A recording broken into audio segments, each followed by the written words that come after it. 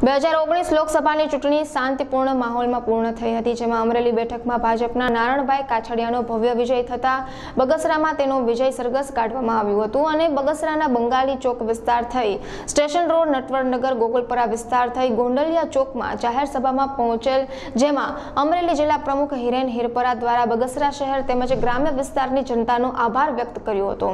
બાદમાં સુરતમાં થયેલ દુર્ઘટનામાં વીસ જેટલા બાળકોના મૃત્યુ થયેલા, જેને શ્રદ્ધાંજલિ રૂપે બે મિનિટનું મૌન પાડ્યું હતું. અમરેલી લોકસભાની અંદર ભારતીય જનતા પાર્ટીના ઉમેદવાર આદરણીય નારણભાઈ કાછડિયા ત્રીજી વખત વિજેતા થયા છે.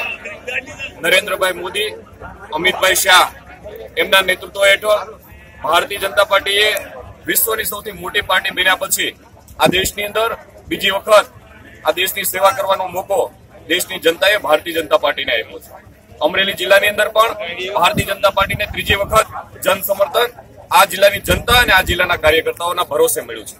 અમરેલી જિલ્લા ભારતીય જનતા પાર્ટીના સૌ કાર્યકર્તાઓએ, સૌ બુથના આગેવાનોએ એક સાથે મળીને પ્રજા વચ્ચે જઈને રાજ્ય સરકાર અને કેન્દ્ર સરકારની જે સિદ્ધિઓ હતી, રાજ્ય સરકાર અને કેન્દ્ર સરકારના જે વિકાસલક્ષી કામો હતા, જન જન જન જનને સ્પર્શે એવા કામોની વિગતો જનતા સુધી પહોંચાડવામાં અમરેલી જિલ્લા ભારતીય જનતા પાર્ટીના સૌ આગેવાનો, સૌ કાર્યકર્તાઓ સફળ થયા છે.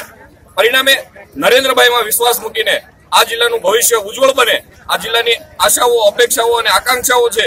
એમાં અમારા ભારતીય જનતા પાર્ટીના નેતાઓ એ સફળ રહ્યા છે અને અમરેલી જિલ્લાનું ઉજ્જવળ ભવિષ્ય માટે ખેડૂતોના પ્રશ્નો હોય, લોકોના પ્રશ્નો હોય, પીવાના પાણીની સમસ્યાઓ હોય, રેલવેના પ્રશ્નો હોય, જે કાંઈ હશે એ આદરણીય નરેન્દ્ર નારણભાઈ કાછડિયાના નેતૃત્વ હેઠળ પરિપૂર્ણ કરવા માટે સૌ કટિબદ્ધ બનીએ આ આજે બગસરા ખાતે નારણ નારણભાઈનું આ ભવ્ય સન્માન થવા જઈ રહ્યું છે ત્યારે સૌ આગેવાનો ઉપસ્થિત છે, સૌ કાર્યકર્તાઓ ઉપસ્થિત. કાર્યકર્તાઓના ભરોસે આ જિલ્લો એ ભારતીય જનતા પાર્ટીનો ગઢ હતો, ગઢ રહેશે એવી શુભેચ્છાઓ અને અપેક્ષા